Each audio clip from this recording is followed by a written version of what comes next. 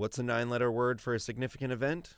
Try milestone. Longtime crossword constructor Bernice Gordon recently marked two big ones. Happy birthday to you. She turned 100 this past Saturday.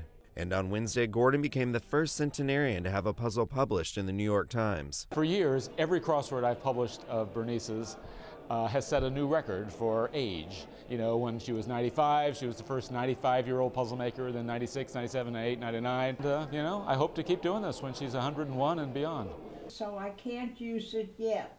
Gordon has been creating puzzles for decades, her grids appearing in many newspapers and puzzle books. Although her early efforts were rejected, she kept at it much to the dismay of her mother. And she said, My child, if you would spend as much money and time with cookbooks instead of crossword puzzles, your family would be happier and better off. The Times printed Gordon's first puzzle in the early 1950s. She liked the challenge and the extra pocket money. And she'll spend hours and hours looking for the right word or the right phrase. So she really keeps her mind active.